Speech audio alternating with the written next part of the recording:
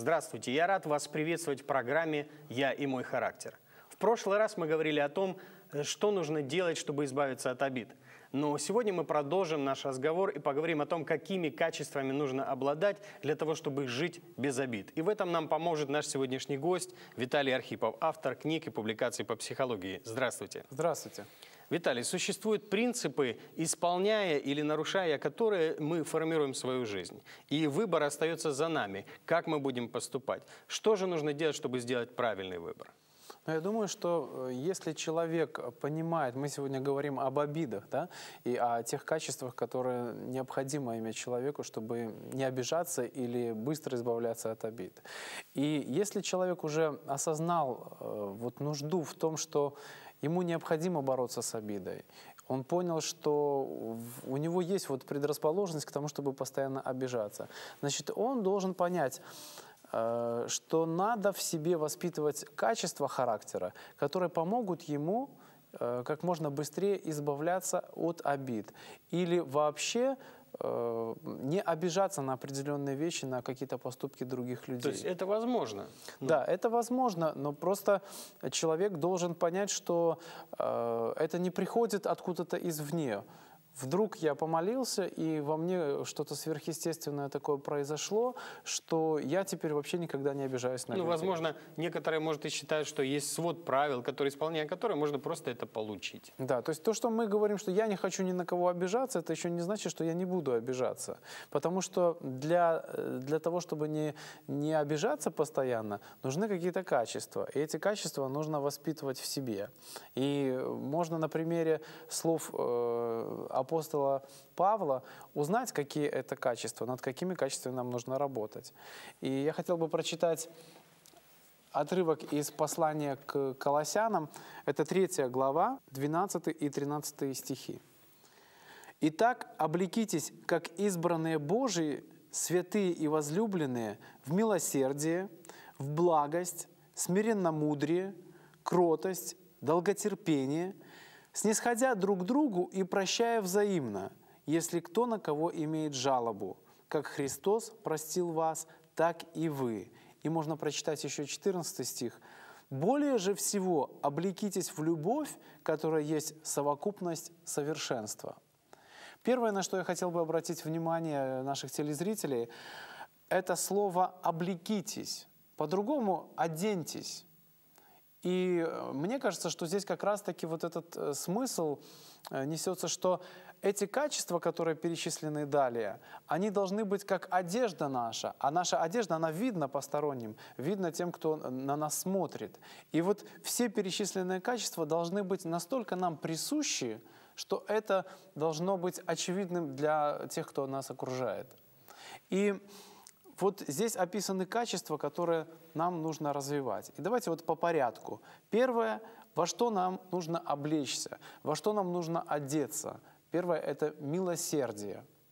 Само слово «милосердие» означает «милое сердце», «милое, доброе сердце». И каждому из нас нужно стремиться к тому, чтобы наше сердце как раз-таки и становилось милым, становилось добрым, ну, как это можно сделать? Как можно смягчить свое сердце? Ну, заставлять себя делать добрые дела, э, воспитывать себя. То на... есть это тоже решение своего рода? Да, это решение э, воспитывать себя э, в духе Библии, э, делать не то, что требуют наши эмоции, делать не то, что тебе хочется, но стараться делать то, что Бог рекомендует себе делать. То есть не просто недостаточно просто молиться о том, чтобы Бог смягчил мое сердце, чтобы Бог дал мне милосердие, но, но это конкретные дела, которые мы должны проявлять всякий день. Вообще для того, чтобы воспитать в себе любое качество характера, необходима дисциплина – и необходимы какие-то действия для того, чтобы в нас это качество выросло.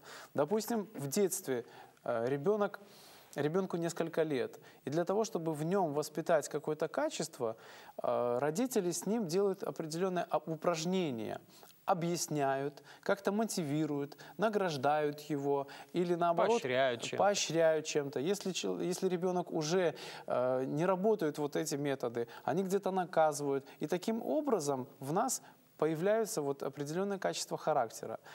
Также и мы, когда приходим к Господу, мы становимся детьми Его. И мы, может быть, уже пришли с каким-то багажом. И у нас сердце, может быть, совсем уже совсем было не милое.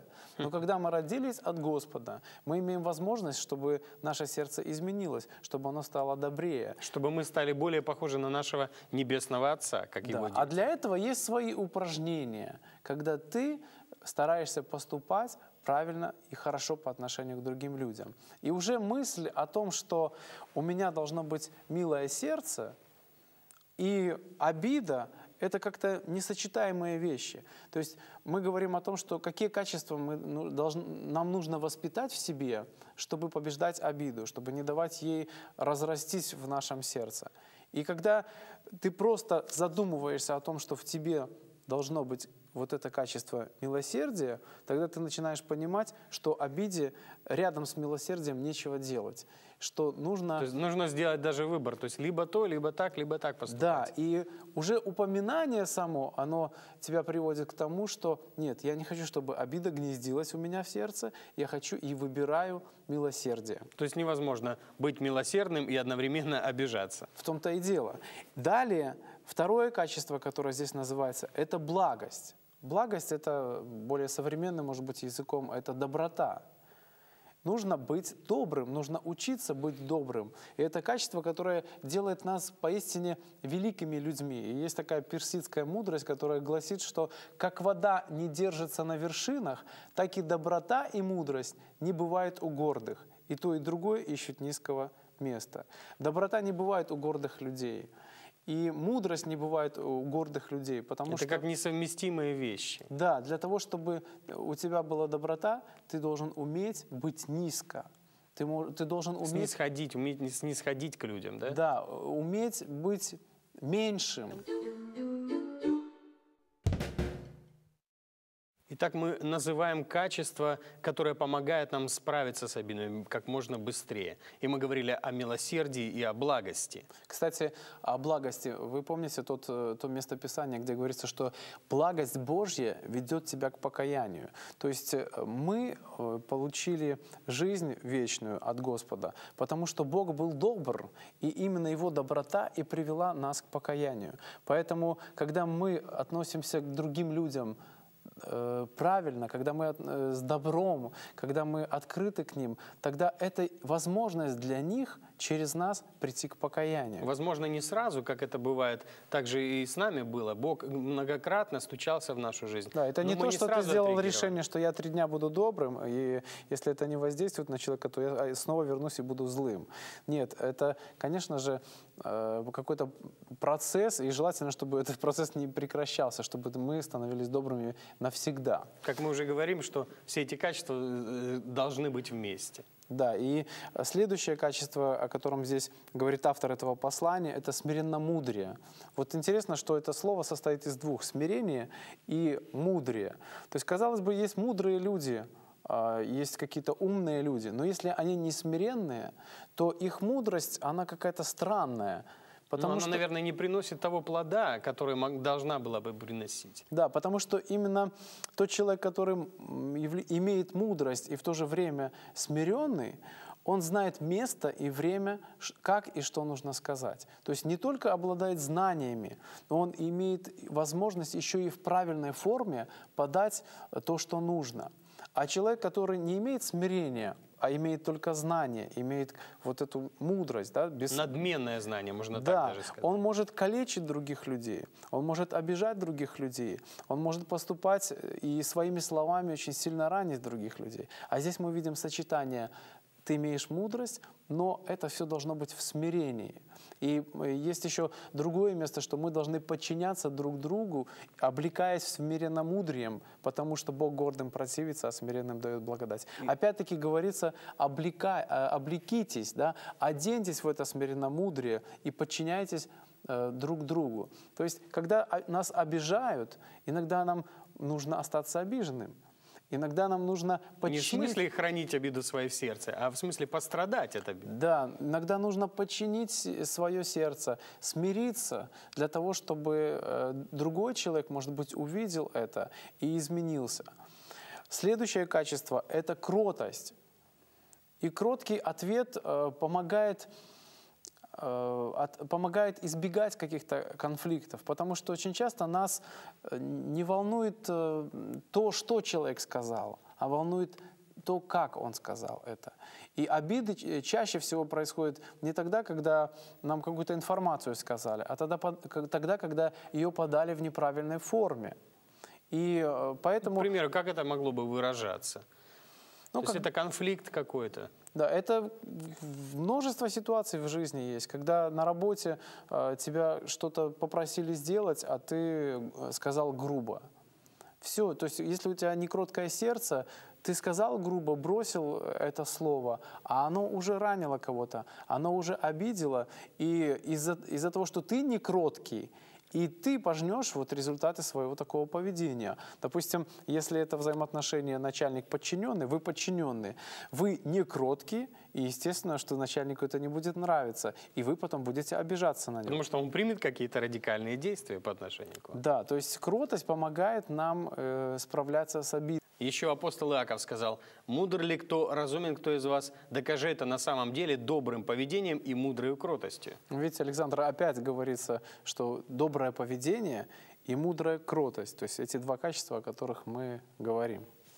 Ну и здесь также еще говорится о том, что мудрая кротость. То есть не всегда кротость, ну, как в человеческом понятии, это некоторые считают, что кротость это просто быть как овечкой такой, который всегда как бы обречен на заклание. Да. То есть он всегда делает то, что ему говорят, то есть его ругают, он, э, поник, опустив голову, терпит это все, и если даже поступает неправильно, где можно решить, он все время молчит. То есть кажется, что это как потворство, да, что э, просто не иметь своего мнения и делать только то, что другие говорят. На самом Ну, а деле, мудрая кротость это, наверное, когда ты поступаешь из своих убеждений и поступая по принципам и по заповедям Божьим, которые призывают нас прощать, быть милосердными, быть добрыми.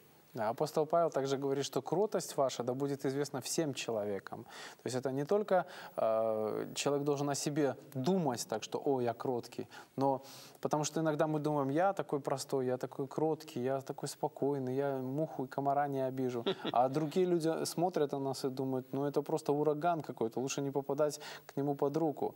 Э, Поэтому важно, чтобы не мы только о себе так думали, но чтобы имели свидетельства от внешних, чтобы другие люди, посмотрев на нас, могли это сказать. Мы говорим, что все эти качества должны как бы быть одеты на нас, да? облекитесь во все эти качества характера. Поэтому человек должен видеть, в чем ты одет, что на самом деле есть на тебе эта одежда кротости или ее нет.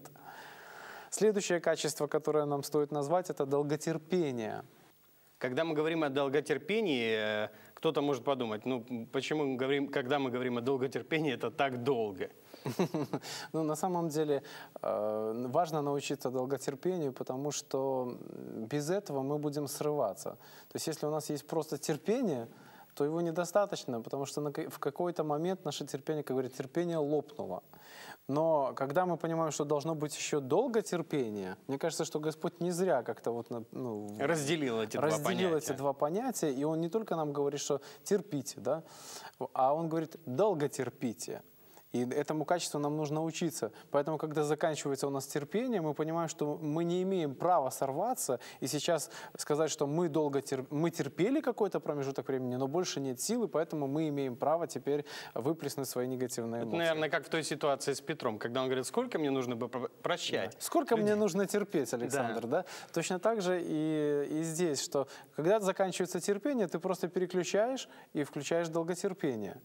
И э, понимаешь, что нужно снова, снова, снова набираться каких-то сил и, и терпеть. Потому что когда это позволяет нас, нам не срываться, это позволяет нам вновь и вновь искать какой-то внутренний ресурс. И искать Внутренние силы для того, да, чтобы и искать преодолевать. в Боге силы для того, чтобы преодолевать какие-то трудности и проблемы, преодолевать обиду. Да? Человек обиделся, и ты обидел тебя, и ты какое-то время включил вот это терпение, и ты думаешь, ну ладно, я прощу его, ну ладно, я потерплю.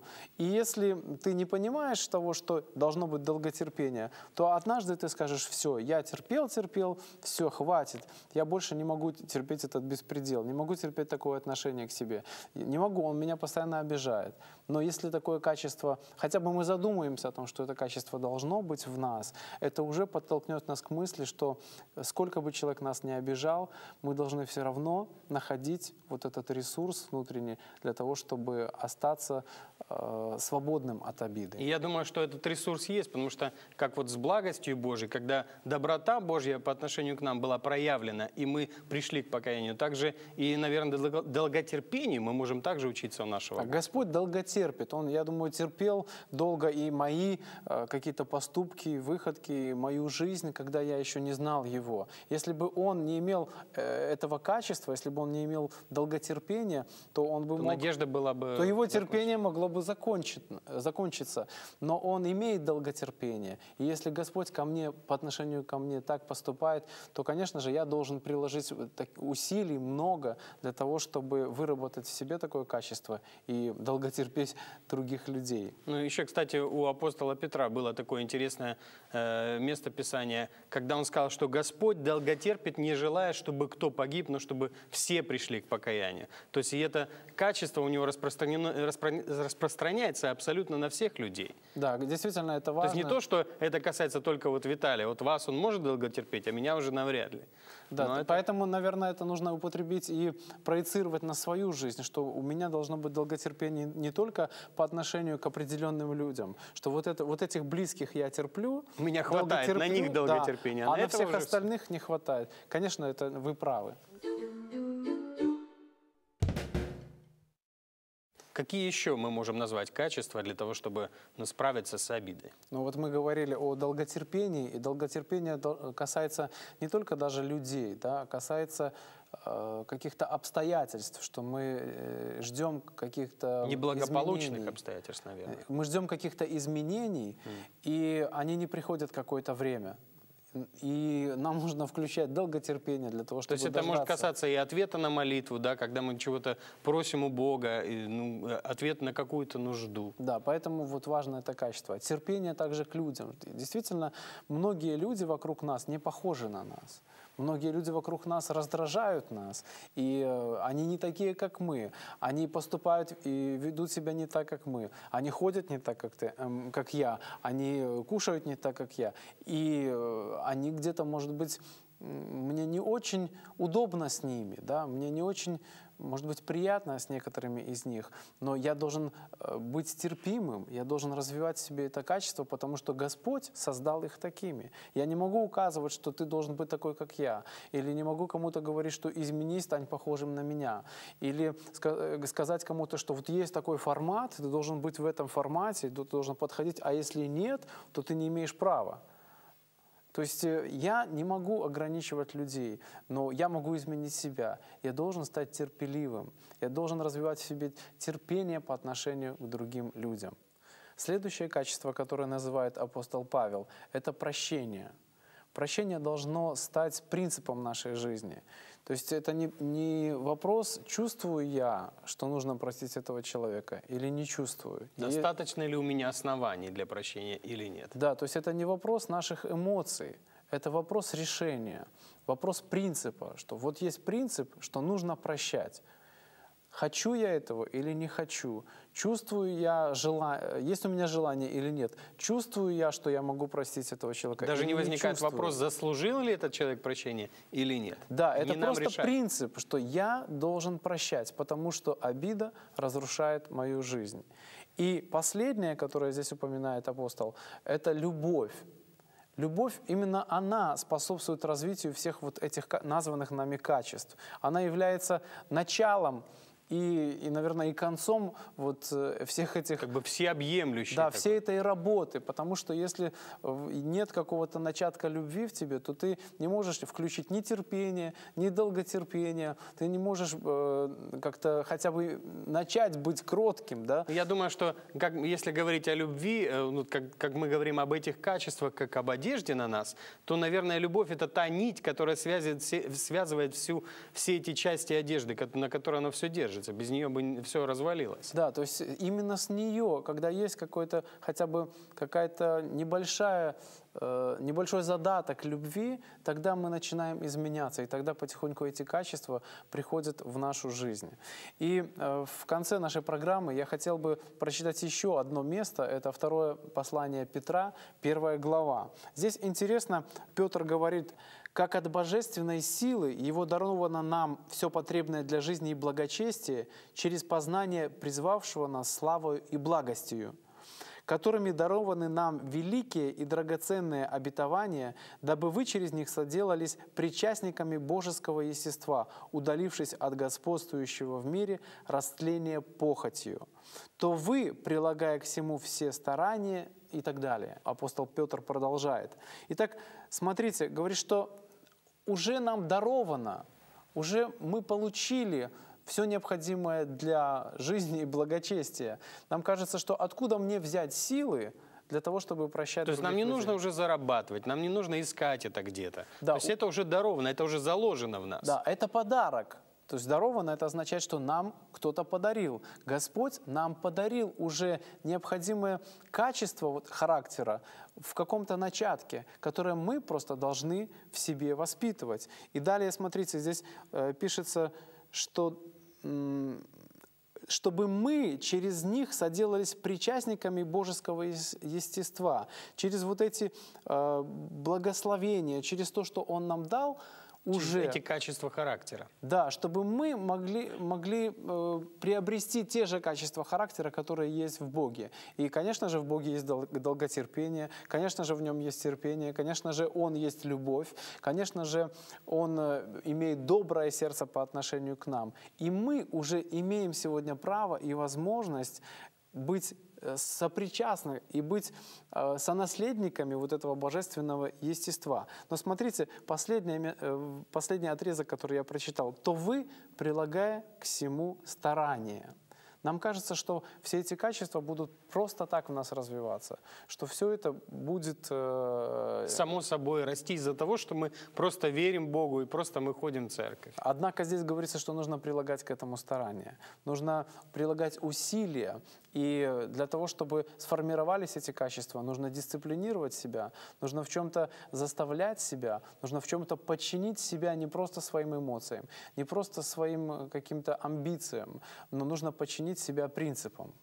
Дорогие телезрители, и мы надеемся, что вы сможете приложить все старания для того, чтобы каждое из тех качеств, о которых мы сегодня говорили, оно возрастало в вас и смогло стать частью вас, чтобы вы были сильны и смогли справиться с любой обидой. Это была программа «Я и мой характер». И помните, у вас есть все необходимое для жизни и благочестия. Вы способны справиться с любой обидой.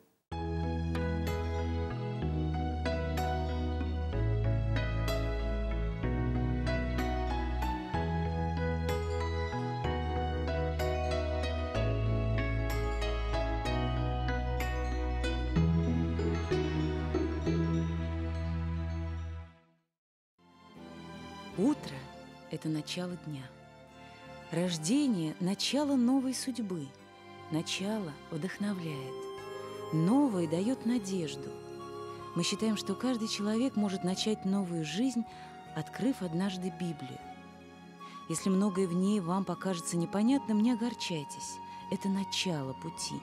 Мы с радостью поможем вам преодолеть сложности – Заочные библейские курсы «Новая жизнь» – это изучение Библии по урокам, которые, по вашему желанию, мы будем вам регулярно, бесплатно высылать. Когда вы выполните половину уроков, мы пришлем вам в подарок книгу «Путь ко Христу». По окончании курсов вы получаете бесценный подарок – Библию.